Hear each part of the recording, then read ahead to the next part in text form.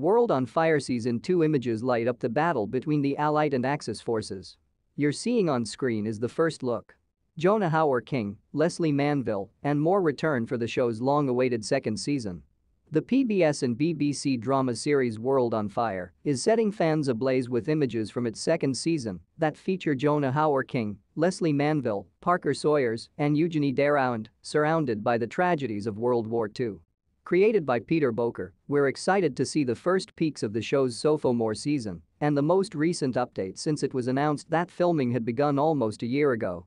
Although no release date has been set, this first set of photos points to more information coming our way soon.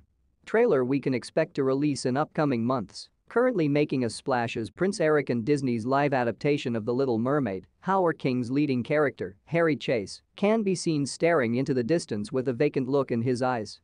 Off to the side of the Royal Air Force member is a fellow soldier with a medical wrap around his bleeding head, pointing to tough times ahead for the British troops.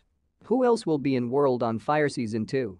While Bean and Hunt won't be returning for the follow-up episodes, we can expect to see Julia Brown, Zofia Wicklage, Blake Harrison, Eric Biadankewicz, and Cel Spellman all reprise their roles. Newbies include Mark Bonnar, Greg Sulkin, Ahad Raza, and Miriam Shuick. While we wait for more news on World on Fire Season 2, until then subscribe our channel and stay with us, thank you for watching.